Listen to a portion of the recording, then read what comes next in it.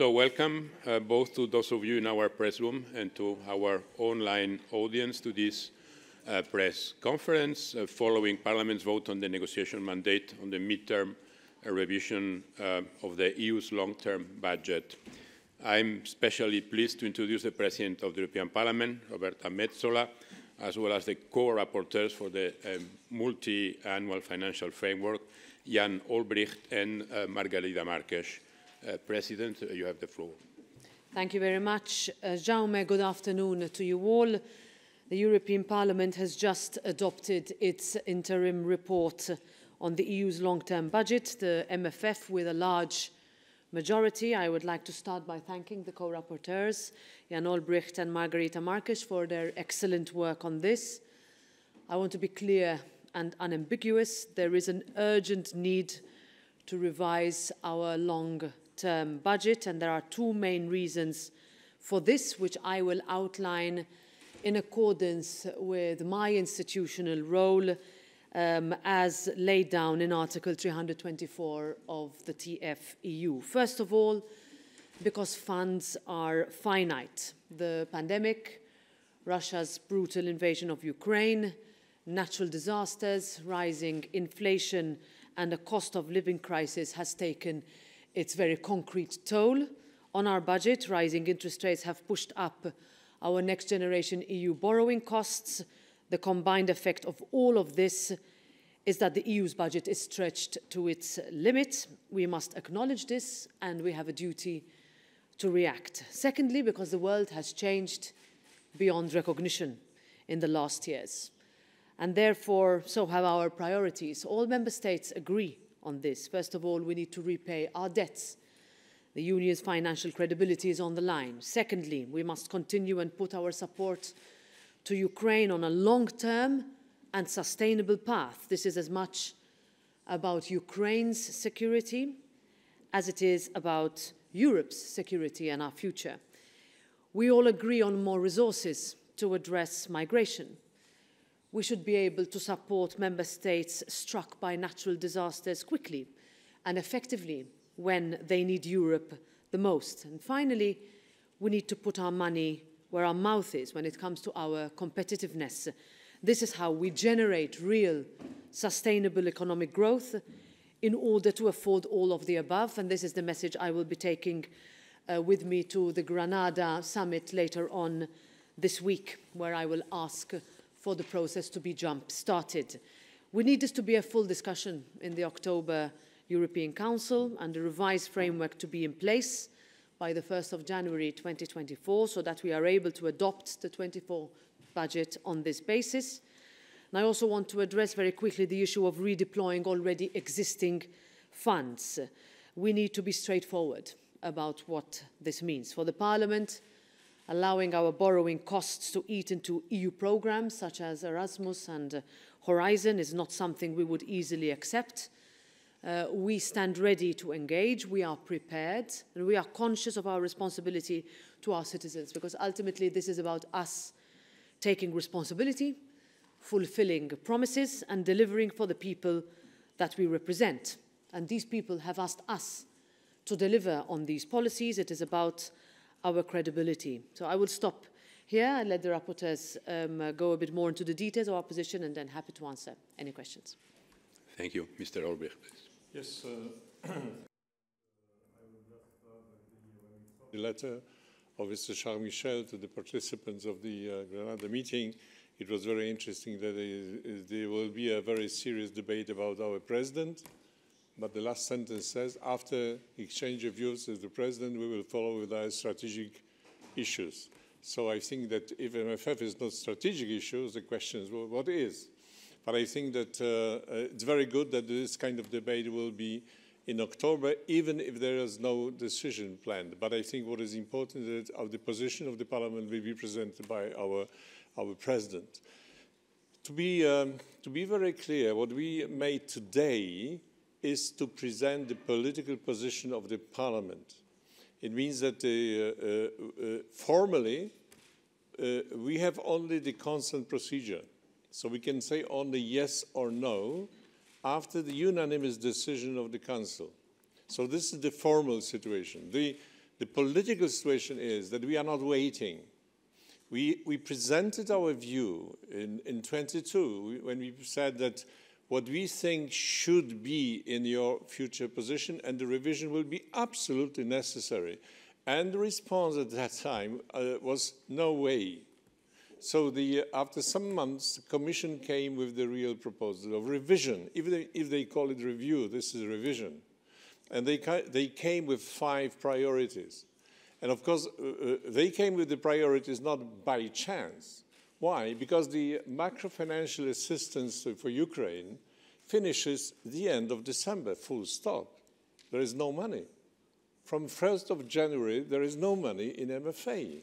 The question is what we will do uh, to, to help Ukraine from the 1st of January. So the Commission came with a very clear uh, position that we need money for Ukrainian facility. We need money for, for the innovation, competitiveness, I mean, so-called STEP. And of course, the migration, but also the, uh, the, the question of flexibility and the money for the Solidarity Fund. We as Parliament, formally, we should wait we should wait for the position of the Council, unanimous decision. We don't wait. We don't wait. We, uh, we are preparing our position today. Someone can say, okay, but the Commission proposes 65, 66 fresh money, 66 billion, and we add to this 10. It means, it means 76 or 77 billion euro. How, is it realistic? Uh, of course, the, the question is, we know what is going on. We know what is the opposition. But we would like to say in the parliament, to give the mandate to our president to say that what are the priorities of EU, what is absolutely urgent and necessary, and the numbers what we presented are quite modest comparing to the needs. And of course, the, we would like to, to show that we, are, we take care about the priorities presented by the Commission. We would like to reinforce them and we say very clearly, if we don't do it, we will have problems in 24 with the budget. There will be no money to, for some of the elements. So this is very, very realistic. So we are waiting now for the position of the Council. Unfortunately, the Council doesn't have the plan to make the decision in October, but we need the budget for 24, and the deadline for budget 24 is half of November. So that's why the question is how we will work next year. And this is the election year. The, the, election year for everybody, not only for the parliament, but the consequences is for everybody. So that's why our interim report, we voted today with the big majority. We voted today to say very openly, very politically, very clearly, we need this kind of revision. We don't make, we cannot make any simple redeployments. No, no, we need a revision. And I think it should be very clear for the governments that if we don't do it, we will have problems. And we as parliament, we are responsible. We are responsible, so we behave in a responsible way, saying that we have the arguments, we have the numbers, we even reduced our ambitions, you can imagine in different committees, but of course to be treated very seriously. So we now expect from the Council to make the, the decision as soon as possible so we can say yes or no at the end. Thank you, Madam Marques.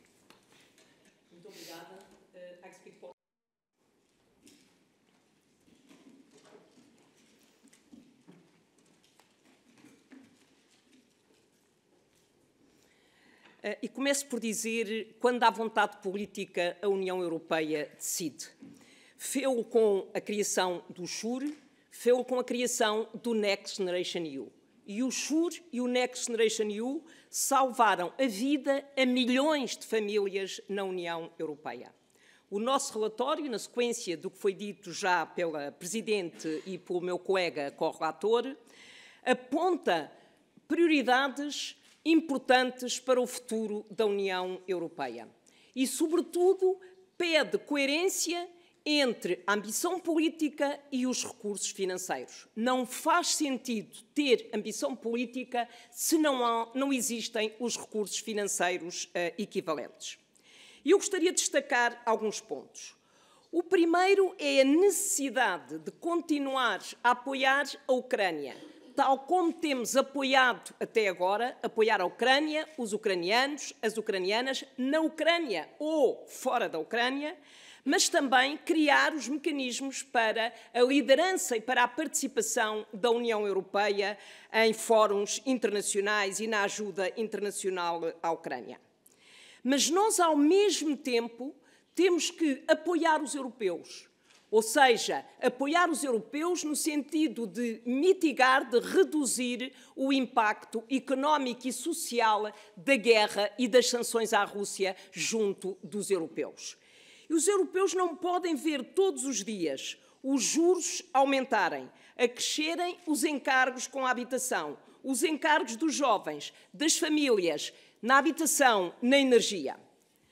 Um segundo ponto que eu gostaria de destacar tem a ver com assegurar que o Next Generation EU, ou seja, os encargos com a dívida do Next Generation EU, não vão sair de políticas ou de programas europeus. É claro, quando, quando, o quadro financeiro plurianual foi aprovado em dezembro de 2020, as taxas de juro rondavam os 0%. Hoje rondam os 4%. Portanto, os encargos com a dívida, os encargos com o Next Generation EU aumentaram substancialmente. E, portanto, precisamos de ter a certeza que esse suporte para o pagamento dos encargos da dívida estão dentro do orçamento da União Europeia, no sentido de assegurar o controle democrático por parte do orçamento, como por parte do Parlamento, como autoridade orçamental, mas estão acima das diferentes linhas orçamentais, no sentido de assegurar, dar garantias de que não há cortes nas políticas europeias. Um terceiro ponto que gostaria de destacar é a necessidade de criar um instrumento permanente para responder às crises. Nós, até agora, fomos sempre adotando soluções pontuais. Em alguns casos, pondo em risco algumas políticas.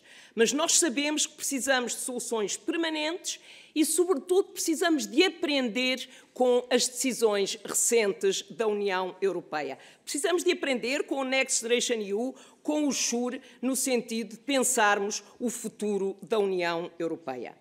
Mas precisamos também de proteger a identidade e a dimensão política da política de coesão, agora e no futuro. Fixámos prioridades para podermos assumir uma posição realista. O meu colega já o disse, Evidentemente, como devem imaginar, falando com os nossos colegas no Parlamento, a imaginação é imensa e a procura de ter um acréscimo dos envelopes financeiros para todas as políticas também é grande. Nós conseguimos moderar essa ambição no sentido de termos uma proposta que é simultaneamente ambiciosa, mas realista, para estarmos em condições de negociar com o Conselho. Também sabemos, e isso é um debate que temos que fazer rapidamente, todos nós defendemos novos alargamentos. Novos alargamentos exigem reformas institucionais, mas exigem também reforma e uma nova arquitetura para o orçamento da União Europeia. É diferente termos uma União Europeia a 27 ou termos uma União Europeia a 30 ou a 35. E temos que pensar nesta nova arquitetura do orçamento da União eh, Europeia. Finalmente, gostei de ouvir o ministro, a presidência espanhola, hoje no debate, dizer que o Conselho está comprometido. Mas palavras não são suficientes.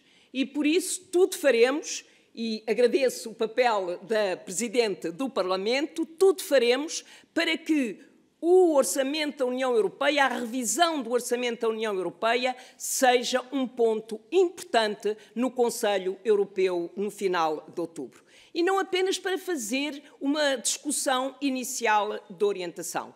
Precisamos de ir mais rápido, mais profundo, para que possamos ter, de facto, um novo orçamento em vigor em 1 de janeiro de 2024. Obrigado. Merci beaucoup. Questions now from uh, journalists? Yes, please. The floor is yours. Łukasz Osiński from Polish Press Agency. Uh, I have a question to the, to President. And uh, do you believe that the European Union uh, should find some additional funds, European funds, for those member states which accepted the, the, highest number of refugees. We all know that this is a big burden for those member states. Um, uh, I mean, in the in the uh, in the process of revision of the uh, MFF. And the second question is, ju just before holiday, President von der Leyen announced a big package for uh, for Ukraine macro-financial assistance, 50 billion euros, um, taking into account the, the, level of the interest rates and uh, the current economic situation of the European Union. Uh, do, you, do you believe that this is feasible? Thank you.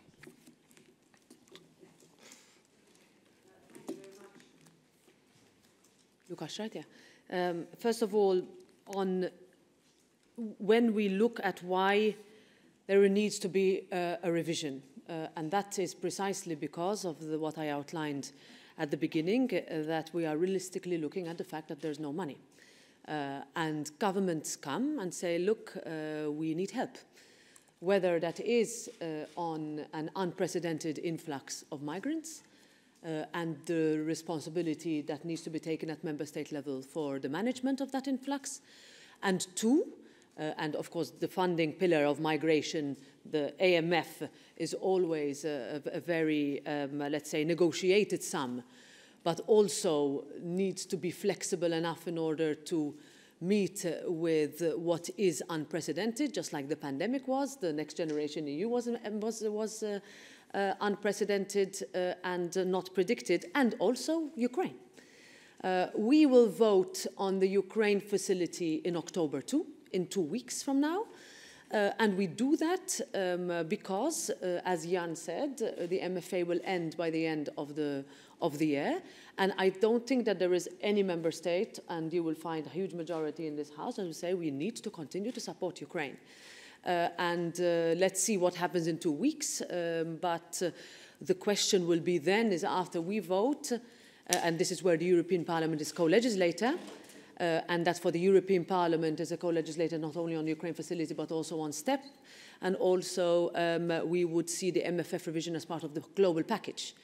Uh, and that will be where we go with negotiating with the Council because uh, one should not exclude the other. And as has been said, we need to also realistically see, for example, also on uh, natural disasters, that a country that faces a natural disaster towards the end of the year cannot be told there is no money left.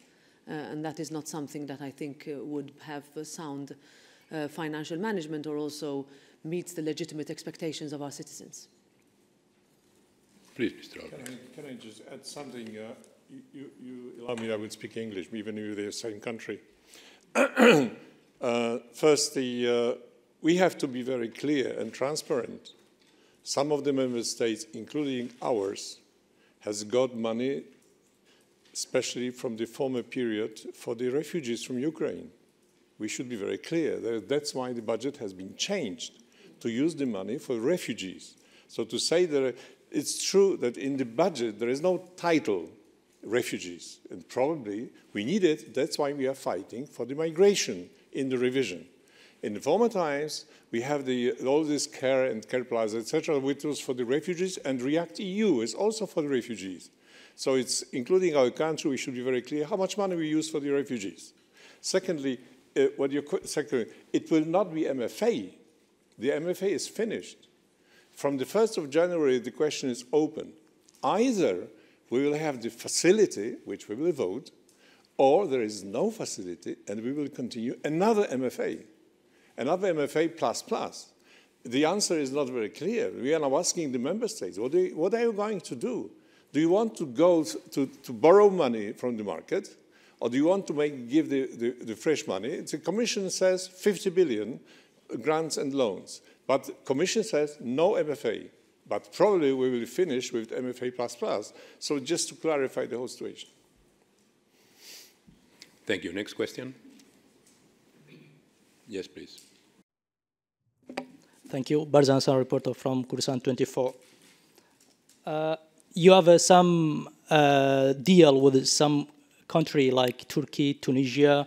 Do you think you need to more money, extra money to uh, should go to the EU uh, deals with the, that countries? And uh, also, do you think uh, European Parliament should make uh, some other deals with the other country like uh, Iraq, Syria, Afghanistan?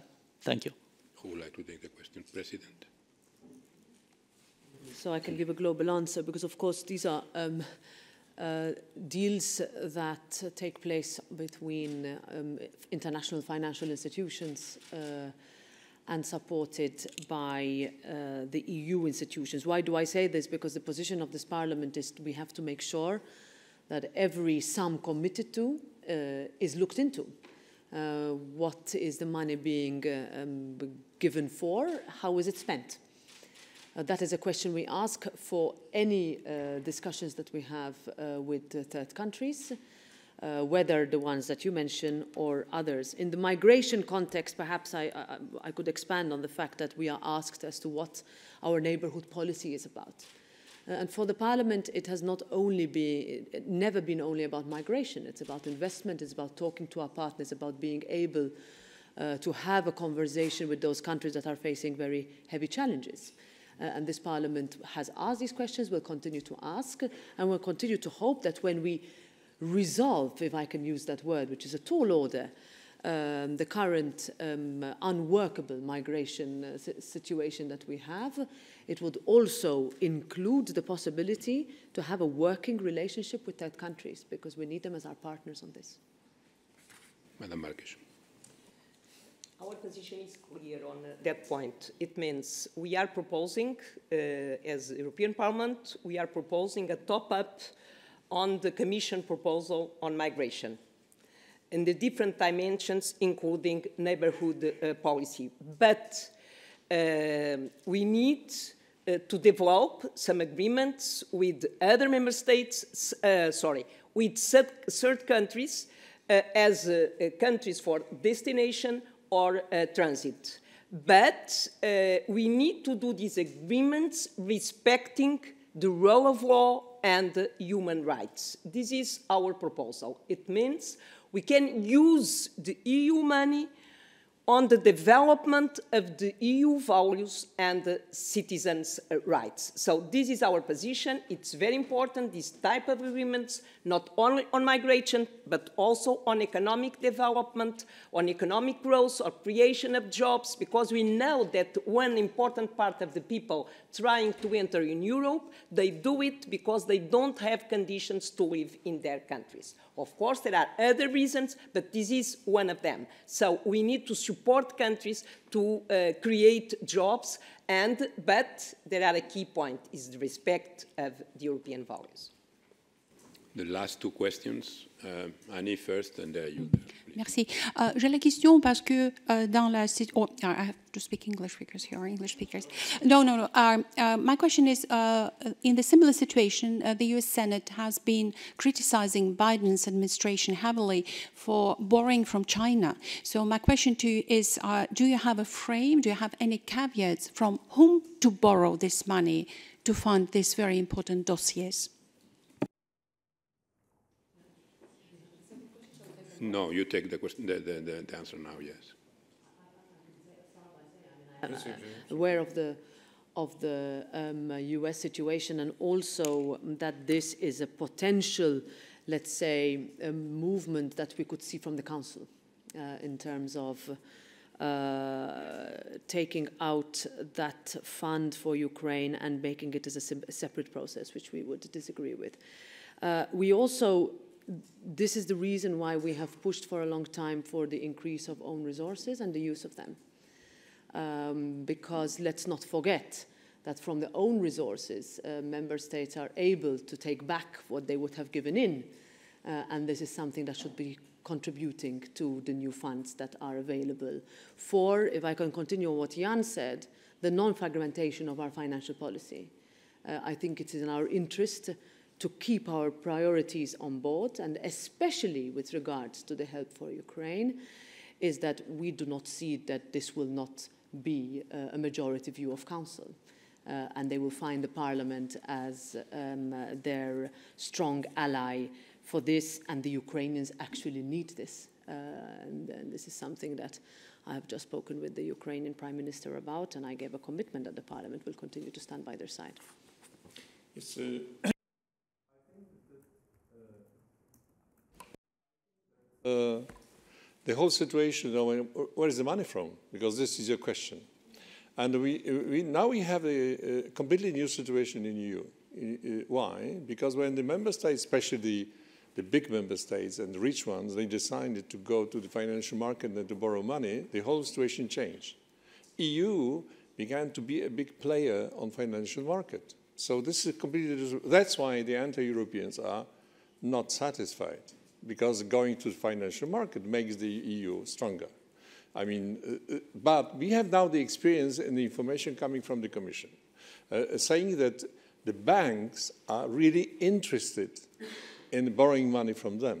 It means that there is a whole set of banks which create the group of banks which goes to the financial markets. We have the bonds issued, we have the especially green bonds, and the Commission says that up to now this is a big success.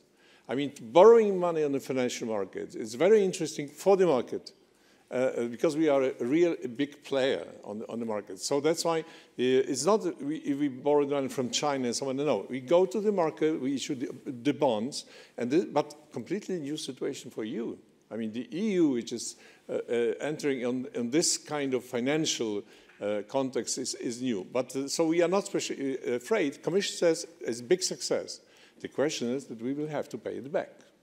But this is another issue. The question how we'll pay it back, and this is what President said. We need own resources.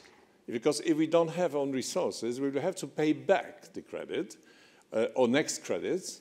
And, uh, and next, it means that we will have to pay it from the budget. And we, we don't have the bigger national contribution. If we don't have the own resources, it means that the budget will be smaller because we will have to pay it back. That's why we are fighting for resources, because the, the situation is completely different than two, three years ago. Thank you. And the last, ah, sorry. Yes, please. Un point à votre question. D'abord, euh, parce que l'utilisation euh, du mécanisme du Next Generation EU, c'est ce qu'on fait pour mobiliser l'argent pour l'Ukraine. C'est-à-dire, on, on, ne va pas dévier l'argent du Next Nation EU pour l'Ukraine. Ce n'est pas ça. C'est utiliser exactement le même euh, mécanisme. Une autre question, c'est que, bien évidemment, les questions que vous avez soulevées, c'est les questions que nous aussi, on demande à la Commission. Nous avons un groupe de travail permanent, le RRF Working Group, et dans ce groupe de travail, nous avons des réunions régulières avec la, la, Commission, des auditions régulières avec la Commission, où la Commission nous fait toujours l'état de l'art sur les différents moments où la Commission va au marché pour mobiliser l'argent pour le Next Generation EU. Ça, bien évidemment, c'est euh, très important. Merci. Voilà. Et donc la dernière question, là-bas. Merci. Oui, bonjour. Une question en, français, s'il vous plaît. Euh, c'est bon? Je suis là.